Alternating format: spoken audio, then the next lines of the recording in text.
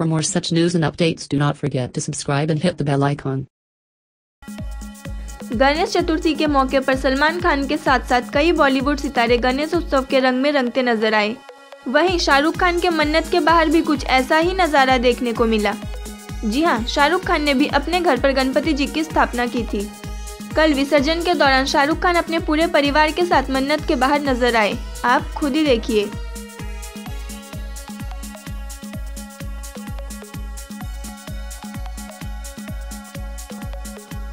उन्होंने अपने हाथों में गणेश जी को लिया हुआ है। साथ में उनके छोटे शहजादे अब्राहम भी है। और तो और, गौरी और सुहाना भी नज़र आए। शाहरुख खान ने बड़े ही सादगी से गणेश जी का विसर्जन किया। तो फैंस आपको शाहरुख की ये पिक कैसी लगी? कमेंट करें और हमें बताएँ। बॉलीवुड की और भी चटपटी खबरों के लिए सब्सक्राइब करना ना भूले, गपशप तो।